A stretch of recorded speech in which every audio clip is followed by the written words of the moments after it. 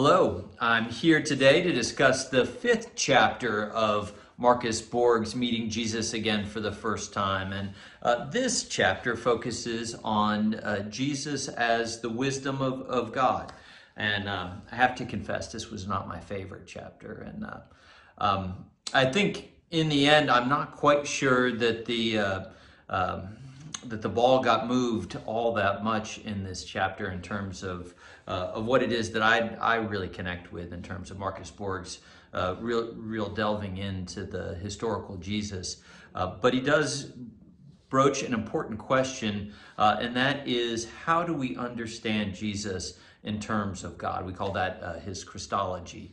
Uh, Jesus Christology, or the study of Christology, is how do we understand the relationship between Jesus and God?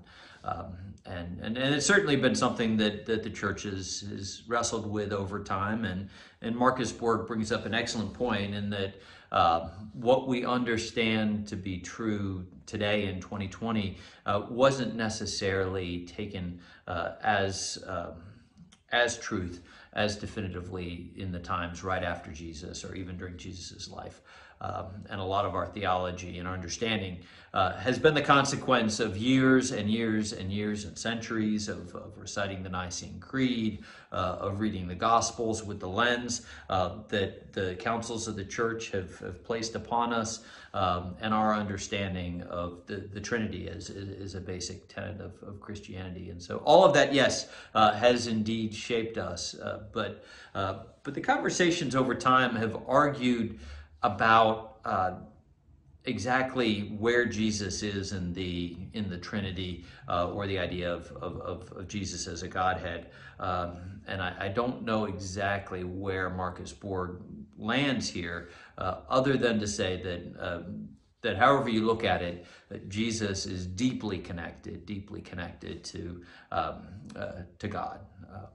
Um, he does bring up, uh, importantly so, that um, that we have to take off the lens of what was resolved, or uh, resolves a strong word, uh, what was won at the Council of Nicaea, uh, and that was the idea that, that Jesus was co-eternal with God, uh, that uh, that he wasn't created. That was the big argument there at, at Nicaea, among other things, but one of the biggest was, was Jesus the first creation of all creation, um, uh, but not necessarily uh, equal to God who, uh, who was not created, the only being not created, uh, or was Jesus co-eternal with God? Uh, and, and it was resolved that Jesus was, was co-eternal. And then uh, Marcus Borg also brings up the Council of Chalcedon, which is where uh, it was argued uh, what does it mean to say that, that Jesus uh, is fully human and fully divine? Is that um, the church's belief? Uh, is it always that constant? Is are there times where uh, where Jesus was was was more divine or more human, and it was established that uh, those two natures were uh, uh, inseparable and, and fully there amidst the whole of Jesus' life, that he was always fully human and fully divine. Um, wasn't a human that got in, um, uh, injected with, uh, with, with, divinity, wasn't um, a, um, a divine being that just resembled human form, fully human, fully divine uh, uh, during the wholeness of his life. And those uh, those things, you know, were, were 325 with the Council of Nicaea, I think 461 with Chalcedon. I mean, those things uh, were wrestled with for centuries, and so uh, it is it is important to understand that that we take a lot for granted now, um, and that that wasn't always the case.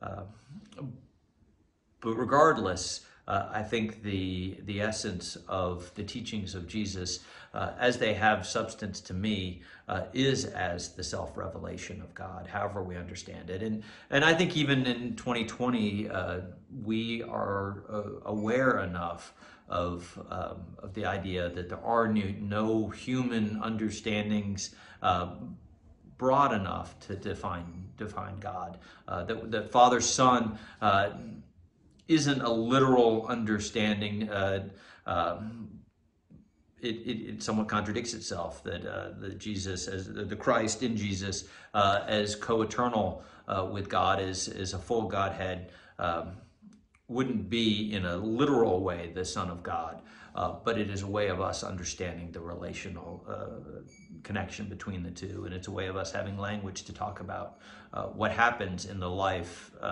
and death of, of, of Jesus, uh, to have that understanding of Father and Son, and it's a uh, heart relationship that we can understand and um, and connect with, and, and understand a little more about God's love for us by putting it in human human terms, but. but all of the round and round we go, the essence is uh, that, that Jesus uh, is of God. Um, at least that's where I land. Uh, um, I think Borg might land somewhere between of God and deeply, deeply connected to God. Uh, but, uh, but I would argue that that so much of the substance that we gather from uh, from Scripture is because God reveals Himself fully uh, and empties himself fully in the person of Jesus. And, um, and some of that gets diminished uh, every, every uh, rung we go down in separating Jesus from the, uh, the full self revelation of God. Um, but, um, but we go through the, um, um, the exercise of trying to understand a little more deeply how we came to that way of understanding who Jesus was. And, um, and Borg does that first by talking about the, um, the thread that existed uh, in the in Hebrew scriptures for a long time uh, that there was God, uh, the, the Creator God, who handed the uh, commandments to Moses, uh, God who uh, spoke to Abraham and and promised that his ancestors would outnumber the stars, the the, the, the God that most of us connect with with Hebrew scriptures. but there's also a God who um, who was the wisdom tradition. Um, God who uh, empowered um, the prophets, and, and, and that was personified uh, with the name Sophia, uh, uh, the feminine uh, side of things. And so it is sort of forward and, um, and, and very attractive to me that that, that thread of, of God um, the, that has the female um, uh, side of, of our existence is, is personified. Uh, in fact, I often think of the Holy Spirit in, in, in, in female terms, um, uh, just because the other two have been so so much formed uh, with a with a male conscience. Um, you know, our um, Jesus is the person, uh, obviously in male form, uh, and then um, God, who's been personified as Father. and so having um, Sophia and, and that, that whole vein of wisdom literature um, and, and so, as we get ready to celebrate Pentecost, it's certainly worth knowing uh, that that gift of the Holy Spirit um, harkens back to something that already was. Uh, that there was a, a, God who was wisdom um, in, in our tradition long before uh, our, our Pentecost celebration. Um, and so, uh, even the term Pentecost uh, harkens back to, to before Christianity. So, uh, so that's important. But the other things that um, um, that Marcus Borg uh, hits on um, is that Jesus uh, connected uh, his um, his understanding of God to Sophia. He makes references to um, uh, to Sophia. in, in, in Luke, especially, a couple references. and um, next, Borg goes to Paul to talk about um, what it is that's gleamed.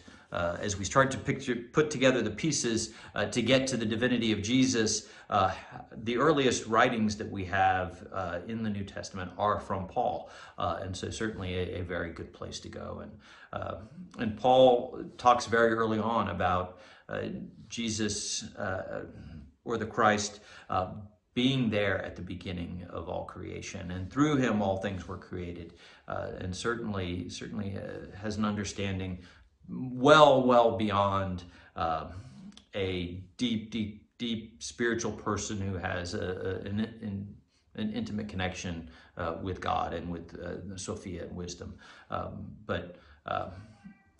But what is the wisdom that that Paul encounters? And I think uh, one of the most uh, subversive or alternative understandings uh, is the idea that we are justified by our faith, uh, not by our works. Uh, and this doesn't mean that um, that those who have had uh, an incredible transformative experience uh, like Paul did uh, when he was converted from Saul to Paul, uh, are somehow elevated in the eyes of God, uh, but that uh, the gift is freely given from God. Um, and unlike um, previous understandings that our ability to faithfully follow the law uh, cemented our place in heaven, uh, the idea that we are saved by grace, um, that we are justified by faith, is the idea that, um, that it is an all graceful and, and compassionate God um, who loves us not because of our righteousness or not because we're we're a good boy uh, or a good girl, uh, but because uh, it is God's very nature to love us, and, and it is uh, indissoluble. Nothing we can do can separate us from that, and that was and that was critical. Uh, and uh, it was explained to me in um, in seminary uh, by a professor that. Um, it's easy to think about our relationship with our, our children or our relationship with our parents, whichever direction we want to go. Um, it is incredibly poisonous to assume uh, that we are loved because we are good uh, that we are loved because we obeyed the rules, because we got good grades, because we did what mom and dad told us to do. Um, we are loved um, because it was indissoluble from the beginning because uh, we are of them uh, because they uh, they gave birth to us and they nurtured us and it was uh, almost in, in, in the DNA uh, that we would be loved and, and that trying to earn love can be a, a pretty destructive force.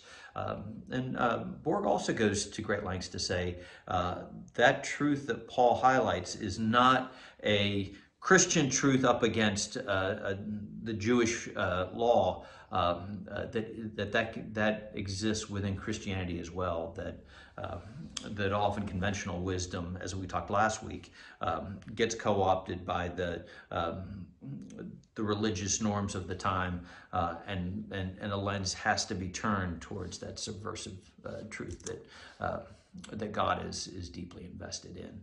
Um, and from there, um, uh, we go to the idea of, uh, of how John understands it, because John's got a little bit more distance uh, than, than, the rest of the synoptic gospels and, and, and, and Paul's writing. Um, and, uh, and John writes that beautiful first chapter where, uh, where it's hard to argue uh, that, that John sees whatever nature is in Jesus as something that was co-eternal, that uh, uh, uh that from whom all things were made. Um, um that uh, in the beginning was the Word, the Word was with God, the Word was God, and all things came into being through Him.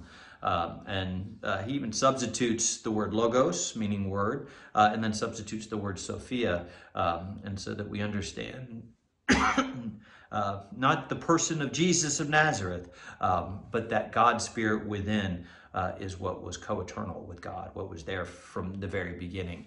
Uh, and that it's all of the other lenses that we have been wearing for 2,000 years uh, that connect us so quickly uh, from uh, that understanding of the Word uh, that, that was with God to Jesus of Nazareth. Um, and and, and the, there's a few leaps there.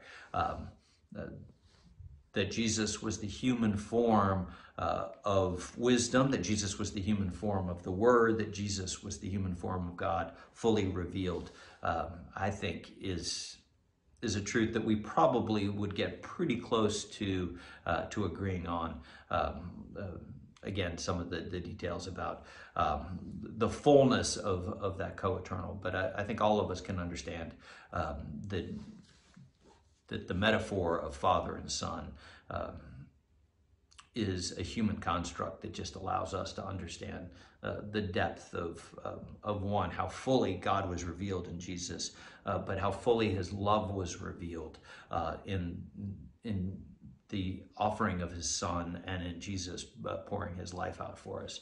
Um, that in that, it, it gives us a, a real concrete understanding of um, of God's love for us and, and uh, of God's uh, teaching and God's dream for the world. And, uh, and Borg speaks a little bit about uh, that image of kingdom as well, uh, and that that's also um, less to be understood in terms of, uh, of an, apocalyptic uh, event that would occur or what, what, what it would look like if that apocalyptic event would occur, uh, as much as it is uh, Jesus sharing with us God's dream for creation, uh, God's will for the world. And, um, and in that, uh, there's that alternative wisdom of this is what the world looks like, this is the construct that's been created. Um, but this is that alternative reality that could be if, if we all coalesce around uh, the nature of God and the dream of God. So I hope this helped you a little bit. Um, again, I, um, I think there's some important uh, meat in there, but it wasn't really my favorite chapter in terms of, uh, of really focusing on uh, um, the dynamic and, and, and really engaging person of who Jesus was uh, beyond the, the Savior of the world. And so uh, I encourage you to keep reading, and uh, and we'll uh, pick up with chapter six, I believe, chapter six next week. God bless you.